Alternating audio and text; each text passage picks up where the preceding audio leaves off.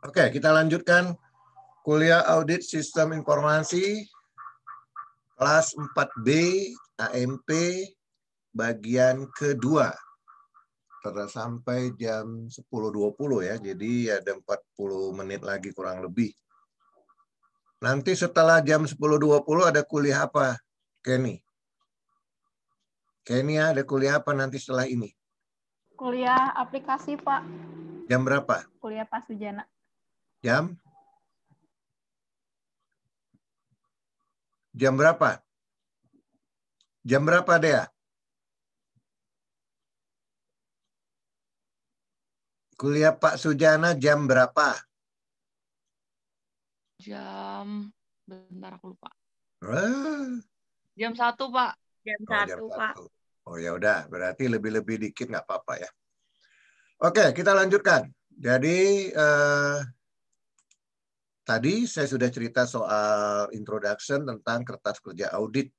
Bahkan sudah dikasih satu contoh, yaitu checklist untuk mengukur tingkat kematangan pengelolaan data center dari aspek pengamanan fisik dan dokumen eh, ketersediaan dokumen di RP.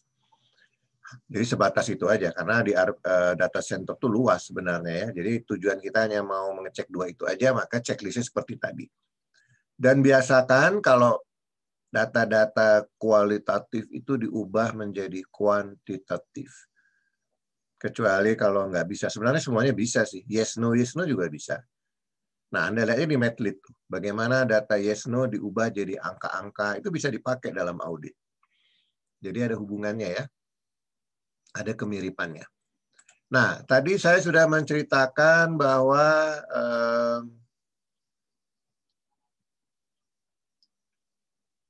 Anda perlu uh, menggunakan referensi tambahan untuk audit program. Nah, saya tampilkan audit programnya seperti ini. Ya. Sedikit saya jelaskan tentang audit programnya. Nah, ini.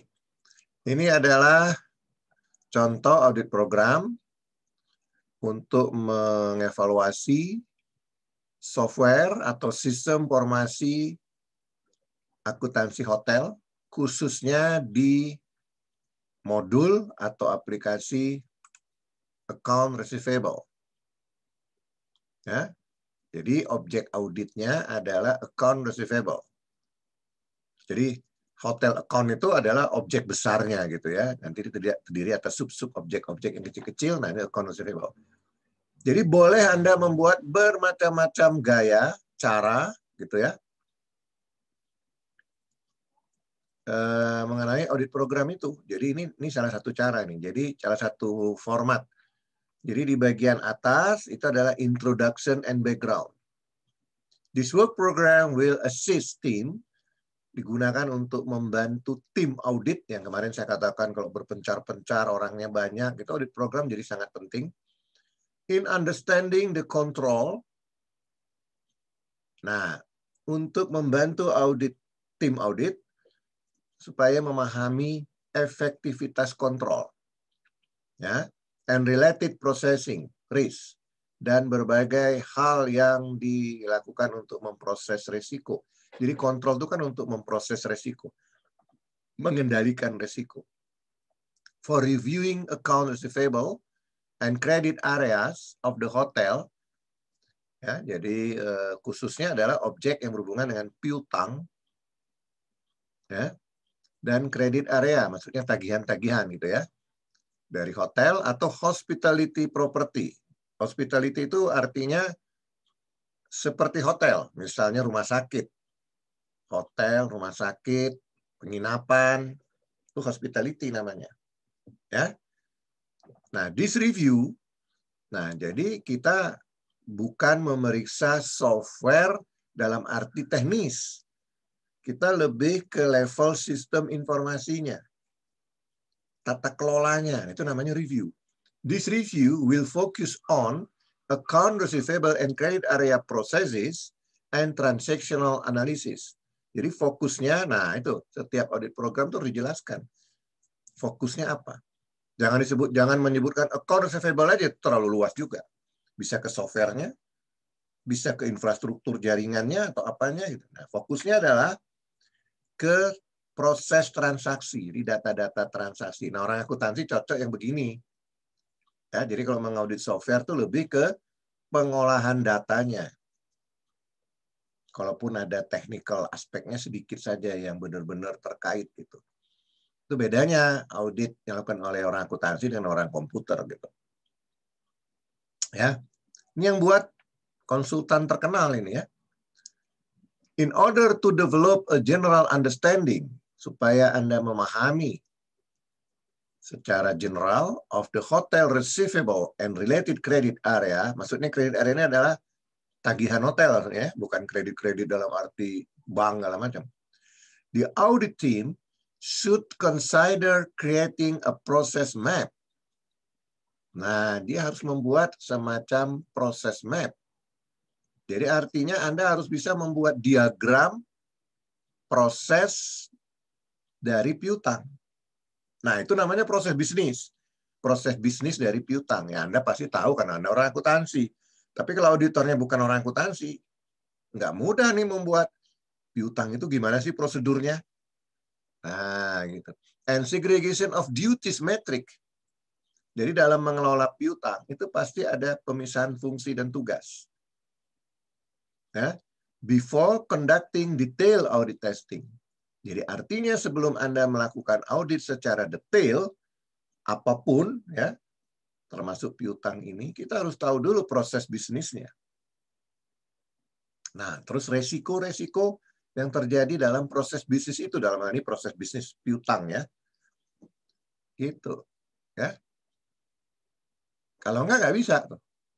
Itulah gunanya audit program. Audit program itu selain untuk memandu Anda melakukan audit, juga untuk supaya apa yang mau Anda siapkan sebelum audit. Oh, saya harus tahu ini, saya tahu ini. Karena dalam audit program ada pertanyaan-pertanyaan ini. Bisa memperdalam proses ini. Gitu. Istilahnya panduan belajar gitu. Kan belajar dulu sehari dua hari baru ngaudit kan gitu. Cuman bedanya belajarnya auditor itu adalah waktu yang sangat singkat. Sehari, dua hari, bahkan bisa berjam hanya jam-jaman aja. Nah, maka apa yang harus dipelajari sebelum Anda mengaudit piutang di hotel ini? Bacalah audit programnya. Kalau Anda junior, auditor junior, Anda tinggal menjalankan audit program, baca, ikuti. Tapi kalau Anda auditor senior, Anda yang membuat audit programnya. Nah, sekarang saya menganggap Anda auditor senior. Hebat banget ya, lompat ya dari junior langsung ke senior. Langsung Anda buat. Nah, kalau Anda bisa buatnya otomatis Anda bisa menggunakannya sebagai panduan ya. Kalau dibuatin oleh auditor senior lain, nanti kalau Anda kerja lebih gampang gitu karena Anda pernah membuatnya. Itu hebatnya mahasiswa. Jadi dia lompat-lompat gitu. Tahapnya melompat. This additional tool Nah, ini kan disebut tool juga ya. Not included in this, nah, maksudnya bukan bukan audit program bukan tool tool itu kertas kerja audit ya may uncover basic control weaknesses redundant or wasteful processing and highlight supervisory oversight maksudnya apa nih this additional tool uh, selain dokumen program ini selain audit program mungkin uh, tidak usah lagi mencakup basic, control weakness, dan seterusnya. Singkatnya, receivable management and credit practices. Nah, jadi yang Anda audit itu sebenarnya adalah tata kelola piutang di dalam sistem informasi hotel. Sehingga Anda mereview dari aspek pengelolaan, manajemen. Jadi manajemen dengan tata kelola itu hampir sama tuh berdekatan walaupun beda. Nanti uh, dua minggu lagi saya kita masuk ke IT governance ya. Will directly impact account shut off. Account shut off itu artinya piutang yang dihapuskan. Kan kalau ngelola piutang itu kan intinya tagih, terus yang nggak bisa benar-benar dibayar ya dianggap bad debt expenses Begitu kan Putri ya? Putri? Bad debt expenses Pak. tahu kan?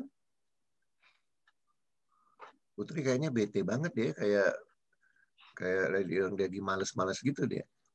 And relate allowance as marketplace condition, even and customer relation can impact variation in the revenue process. This area of revenue cycle is important to. Nah, jadi account receivable itu adalah bagian dari siklus pendapatan di dalam akuntansi kan. Penjualan itu kan pendapatan. Nah, itu sangat menentukan cash flow. Jadi kalau piutang tidak dikontrol dengan baik, cash flow-nya eh, menurun. Banyak yang tidak tertagih. Shut off. Misalnya kalau di hotel, tamu tiba-tiba kabur aja gitu ya. Kalau tamunya bawa koper gede-gede kan ketahuan sama satpam. Tapi kalau tamunya backpacker, dia cuma bawa ransel doang. Setiap keluar hotel, dia selalu bawa ransel karena dia bilang saya backpacker pakai ransel, saya mau keluar kota mau apa. Tahu-tahu dia kabur nggak balik lagi. Itu kan sering terjadi itu. Nah itu shut off tuh. Jadi dikontrol tuh. Nah, bagaimana mengontrol? Manajemennya gimana? Tata kelola gimana? Itu yang diaudit. Nah, jadi kenapa ada background? Itu pertanyaannya. Kemarin kan kita buat audit program nggak ada backgroundnya ya. Ini yang bagus yang ini. Kenapa? Karena ini adalah dokumen panduan buat tim auditor. Jadi tim auditor bisa baca ini backgroundnya. Oh, berarti saya harus melakukan ini. Oh, ini poin-poinnya ini. Gitu. Nah, objektifnya apa? internal kontrolnya kuat apa enggak, yang ada eksis. Discuss, discuss and obtain. Jadi auditor itu bukan polisi, bukan jaksa. Itu auditor zaman dulu, auditor zaman sekarang itu adalah partner. Jadi dia mendiskusikan dengan manajemen piutang. Pak, gimana kira-kira piutangnya ada di sini? Coba jelasin ke saya gimana prosesnya gini-gini. Oh, kalau begini nanti kontrol gimana Pak? Kalau ini terjadi begini gimana? Menurut Bapak gimana? Itu discuss tuh. Tapi diam-diam kita mencatat, obtain. Nah, gitu. Jadi pendekatannya discuss, sharing, brainstorming gitu. Access whether hotel procedure relate to the area under review yang sedang di review, sedang di audit maksudnya, ya, are carry out in accordance with company policy, uh, sesuai nggak dengan kebijakan-kebijakan, kebijakan-kebijakan itu itu di itu objektifnya. Jadi untuk mendapatkan ini, ini, ini, ini. Jadi setiap audit program itu harus ada audit program objektif. Bukan tujuan audit dalam arti audit planning. Audit planning adalah tujuan audit keseluruhan. Kalau audit objektif adalah tujuan audit per program audit ini, per audit program ini. Nah, setelah itu baru kita bicara step, project work step. Nah, di sini diberi nama project work step. Kita lihat ya sampai bawah ya. Nah, project work step itu nama lain dari audit step. Nama lain dari prosedur audit. Nama lain dari kegiatan auditnya. Nah, ini yang paling penting dari audit program. Kalau ini salah, datanya pun salah. Kalau ini salah disusun, kertas kerja auditnya jadi salah, datanya juga salah.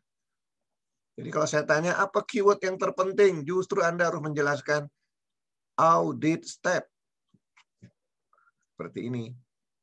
Nah, dia membagi menjadi indikator. Indikator pertama adalah gas ledger maintenance. Tujuannya apa? Untuk memeriksa ini. Nah, ini ini kontrol objektif yang lebih detail. Ya. Tujuannya per indikator. Baca aja lah ya, karena saya juga nggak banyak waktunya lagi. Nanti yang lain nggak bisa dijelasin ya. Jadi ini Anda baca aja, Anda diskusi. Karena di grup. Kalau nanti nggak ada yang bisa jawab, saya akan jawab. Indikator kedua, city ledger maintenance. Nih. Jadi boleh pakai indikator, indikator, indikator, terus itu buat pertanyaan. Ini kan pertanyaan-pertanyaan nih. Nih, review ini. Access, itu kata kunci. Review, access. For, for the net, obtain. Investigate. Nah, itu kata-kata kunci yang selalu dipakai di audit program. Pakai indikator boleh. Kalau pakai kemarin boleh juga. Jadi formatnya macam-macam. Anda pilih mana yang paling sesuai. Saya kasih contoh yang banyak ini ya. Jadi contoh-contoh ini. Nah, ini indikatornya nih. Credit and allowance for doubtful account.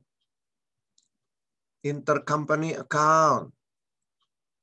Nah, udah. Ini baru pertanyaannya. Are reconciling item reasonable? Kelihatannya seperti mengaudit akun akuntansi operasional kan? Emang iya. Tapi ada unsur IT-nya. Coba kita lihat di mana unsur IT-nya. Kalau enggak dia bukan bagian dari audit informasi, itu audit audit operasional biasa. Kita lihat ya. Uh, ini the front, ini saya gedein ya. Kalian perlu perlu digedein ya. Anda mungkin nggak begitu jelas membacanya ya. Zoom, zoom, mana zoom? Di zoom dulu dikit deh. Dinaikkan menjadi 120 persen. Nah, mana unsur IT-nya? The front office system. Ada kata-kata sistem, itu artinya software.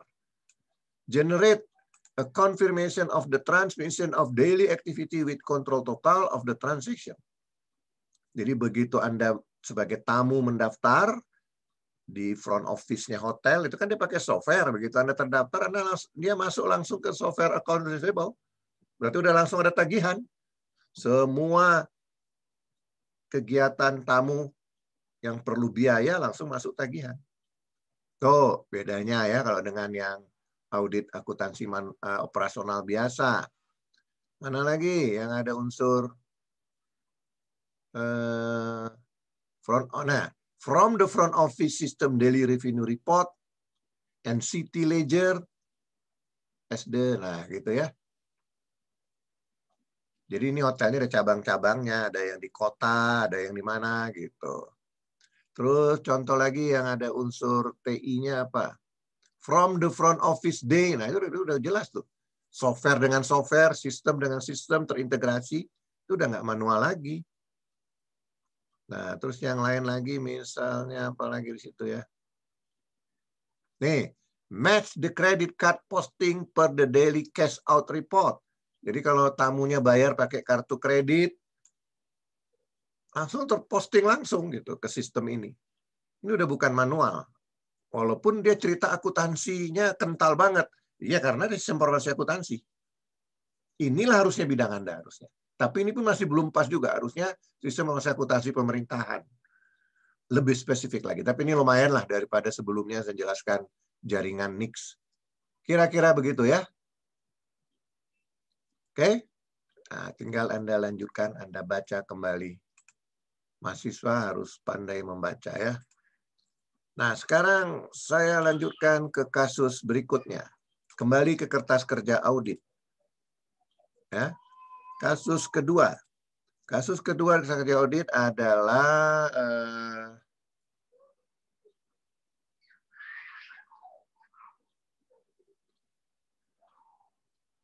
Yang ini aja. Ini kertas kerja audit. Nah, ini ya. Berikutnya, Anda akan membuat kertas kerja audit tapi berbentuk questionnaire. Tadi kan checklist. Terus tadi audit program tadi ya. Yang pertama, sorry kasus pertama tadi itu yang data center itu checklist. Sekarang bentuknya questionnaire. Jadi bentuknya macam-macam. Bisa questionnaire, bisa checklist, bisa daftar pertanyaan aja, wawancara. Objek auditnya adalah sistem development life cycle. Sistem informasi apa pun pasti dibuat. Bahkan tiga tahun, empat tahun sekali dikembangkan. Nah, membuat dan mengembangkan sistem informasi itu harus menggunakan metode cara namanya SDLC. System Development Life Cycle. Nah, kalau cara membuatnya amatiran, abal-abalan, asal-asalan, maka kualitas sistem informasinya bisa bisa kita bayangkan tuh. Serba nggak jelas, informasinya banyak yang nggak akurat, gampang terjadi berbagai resiko dan seterusnya ya. Resiko tidak terkendali dan dan hasil hasil dari sistem formasinya tidak sesuai dengan yang diinginkan oleh user dan seterusnya dan seterusnya ya. Nah, oleh karena itu kita perlu audit, kita periksa. Nah, ini ada sekitar 9 halaman. Ini namanya kertas kerja audit ini. Ya. Tapi modelnya lain nih. Nah, jadi dia ada kayak gini nih. Kayak daftar halamannya ya. Nah, gitu. Ada introduction-nya, table of content gitu ya. Nah, introduction-nya jadi boleh juga kerja audit pakai begini. Introduction-nya apa? The purpose of this document, maksudnya dokumennya adalah kertas kerja audit, is to serve as the pre-implementation checklist questionnaire covering key SDLC. Jadi tujuan dari dokumen ini adalah sebagai uh, pre-implementation checklist. Jadi sebelum benar-benar diperiksa lebih detail, nah dibuat dulu kayak begini. Ya, key SDLC areas and point that should be considered by the project manager and project team. Jadi udah jelas yang kita tanya adalah project pimpinan project yang mengembangkan sistem itu. Misalnya tadi informasi akuntansi hotel tadi. Piutang tadi. Nah, kita mau nanya cara membuat sistem informasi hotelnya, piutangnya itu. Nah, kita tanya ke pimpinan hotel, ke project manager yang dulu menanganinya, tim yang ikut menanganinya. Nah, ini masih pakai checklist juga ya. Oke. Nah, ini kita tanyakan sebelum sistem go live. Jadi ini biasanya begini nih. Yang ini biasanya dipakai kalau ada suatu hotel atau Pemda Garut atau organisasi apa pun eh, sedang membuat sistem informasi atau sedang mengembangkan sistem informasi tapi belum dijalankan. Nah, before, prior to sistem go live. Go live itu dijalankan. Ini sebelum dijalankan. Misalnya pada saat selesai, tapi belum dijalankan. Nah, itu boleh kita audit. Ya. Atau udah hampir jadi, udah 80% jadi kita audit. Nah, ini namanya, ini audit project nih namanya ya. Nah, kita buat pertanyaan. Was the project plan developed and approved prior to the project? Apakah ada perencanaan dulu? Perencanaannya sudah disetujui oleh pimpinan, misalnya pimpinan hotel itu ya. Yes, no, yes, no. Nah, ada keterangan-keterangan tambahan. Itu boleh juga begitu. Nah, ini adalah ini adalah indikatornya nih. Dimulai dari project management. Namanya juga mengembangkan sistem. Itu kan project. Jadi project itu bisa mengembangkan sistem, melakukan audit sendiri itu project. Cuman audit yang dilakukan project itu nggak nggak diaudit gitu. Yang diaudit adalah project pengembangan sistem akuntansi hotel ini. Indikatornya project management. Jadi artinya yang diukur adalah aspek manajemen projectnya gimana, functionality. Sistem itu kan ada functionality-nya. Dia bisa apa, bisa apa, bisa apa. Terus yang paling penting integrasi kayak tadi kan dari front office bisa nggak terintegrasi langsung ke account receivable? Nah, itu kita uji, kita tes. Nah, ini. Ya. Nanti dari sini mungkin ada hal yang perlu di tes lebih detail. Nah, baru kita buat kertas kerja audit yang lebih detail. Gitu ya. Jadi bedanya kalau audit program itu nggak ada jawaban gitu. Yes, no, ya. Ini kan yes, no, ini kan data. Jadi kalau sudah ada jawaban, itu namanya kertas kerja audit. Sudah ada jawabannya, sudah ada pilihan jawabannya. Sudah ada pertanyaan. Nah, kalau dijawab pertanyaan itu data. Nah, itu kertas kerja audit. Tapi kalau audit program dia nggak ada pertanyaan, langkah-langkah aja yang Anda mau lakukan gitu. Memang tujuannya bukan untuk ngumpulin data. Itulah bedanya audit program dengan kertas kerja audit. Nah, ini kertas kerja audit ini. Interface. Interface itu adalah eh, penghubung antara software atau sistem formasi dengan pemakai. Contohnya, menu, form. Kalau Anda ngisi data ada ada form. Nah, itu interface namanya. Report, itu interface. Nah, bagaimana bentuk-bentuk interface-nya? Ya. Oke. Kalau ada kata-kata legacy system itu berarti sistem lama. Jadi kalau mengembangkan sistem piutang yang baru pasti berdasarkan sistem yang lama. Nah, bagaimana hubungan antara sistem baru dengan sistem lama? Itu juga interface. Ya. Nah, data conversion. Karena kita hotelnya udah berjalan puluhan tahun, udah pakai software juga, udah pakai sistem, cuman kita mau sempurnakan, jadi kita kembangkan sistem baru. Ya, maka konversi data harus dilakukan. Jadi mengubah data lama ke data baru. Gimana? Cara yang paling bagusnya, efisiennya seperti apa? Ini pertanyaan untuk mengukur itu. Ini indikator namanya, mirip seperti Medlit tadi. Jadi indikator jadi kalau sudah ada indikatornya, kita buat pertanyaannya konsentrasinya ke sini aja. Nah, itulah gunanya indikator. Jadi, yang buat pertanyaan questioner di Medlit, itu hanya konsentrasi ke setiap indikator buat pertanyaan. Jadi, ada konsentrasi ke situ aja, nggak ke mana-mana. Nggak melebar ke mana-mana. Itulah perlunya buat indikator dulu ya. Dokumen and training. Jadi, kalau merancang sistem, di dalamnya ada software, harus ada dokumentasinya. Kalau sistem formasi, dokumentasi dalam bentuk data flow diagram, dokumen flowchart, ya, training, uh, user guide manual, itu diperiksa semua. Gitu. Nah, go live. Uh, tadi kan sebelum go live ya, tapi di sini diperiksa go live ya. Go live itu artinya dijalankan secara real. Nah, gitu ya. Jadi ini agak bingung ya. Tadi prior to go live, tapi sekarang ada go live. Nah, oke okay lah, berarti kita mengaudit sistem piutang tadi pada saat dia dibuat, gimana proses pembuatannya. Kemudian pada saat dia mulai dijalankan beberapa bulan setelahnya. Jadi mungkin nggak terlalu lama juga. Jadi go live go live awal lah gitu lah. Nah ini di sini. Kemudian pemisahan fungsi. Sistem itu harus ada pemisahan fungsi change management. Nah, internal control di dunia ini sebenarnya ada dua yang populer.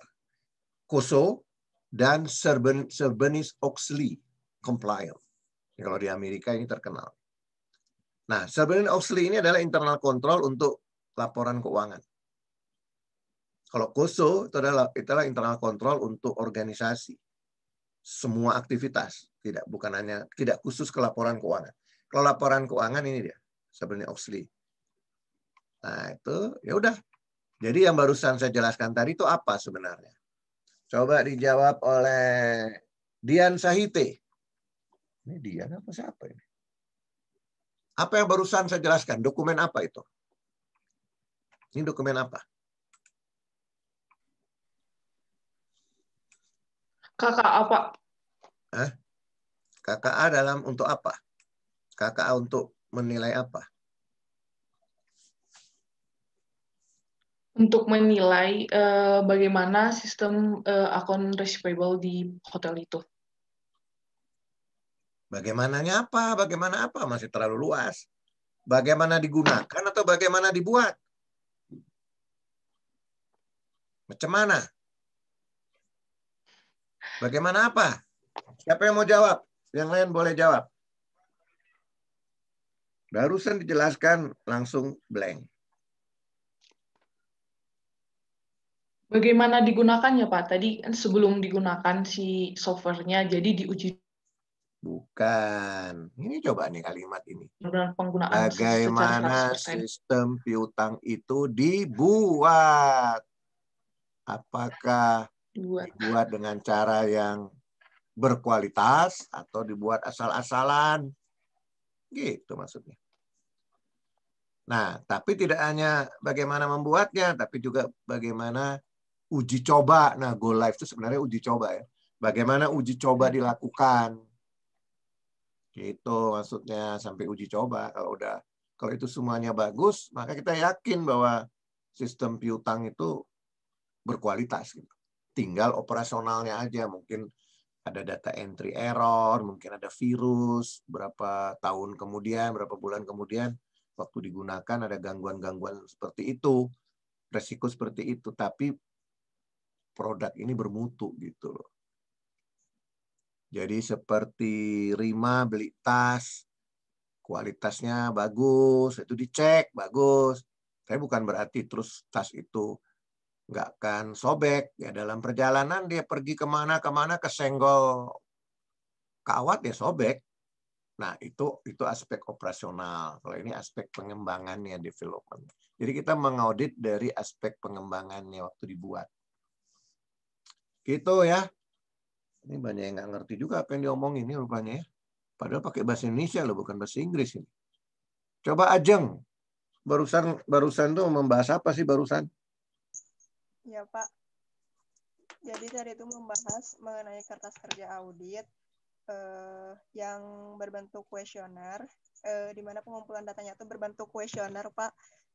Terus eh, pertanyaannya disusun berdasarkan indikator-indikatornya. Ya, bagus. Nah, satu lagi terakhir sebelum kita bubar adalah ini nih. Ya, security policy. Nah, ini security policy nih ya. Ini waktunya udah mau buru-buru nih. Nanti Anda baca sendiri juga bisa. Nah, ini. Kalau ini kertas kerja auditnya dalam bentuk questionnaire. Nah, ini pertanyaan kayak gini. Mirip-mirip kayak tadi. Dia dia kasih bobot. Satu, clearly, jelas gitu ya. Agak jelas dua, tiga ah, nggak begitu jelas, empat sangat tidak jelas. Misalnya gini, apakah di dalam sistem informasi piutang hotel tadi ya, ada kebijakan-kebijakan tentang security? Karena cuma jawabannya yes no, maka satu yes clear, empat no. Ada nggak? Misalnya, ada nggak kebijakan bahwa setiap tiga bulan sekali password dari komputer-komputer yang dipakai yang berhubungan dengan piutang diganti. Ada kebijakan dari pimpinan hotel untuk semua user. Nah, kalau ada is there, kalau ada satu nilainya, kalau nggak ada empat. Nah, ini ada juga model kayak gini. Nah, berikutnya, apakah eh, kebijakan dinyatakan dan tidak boleh ada kecuali, not permissible. Apakah kebijakan tersebut dijalankan dengan tegas, tidak ada kecualinya, not permissible? Nah, tentu jawabannya ada empat kalau ini terserah. Nah, nanti Anda, Anda periksa.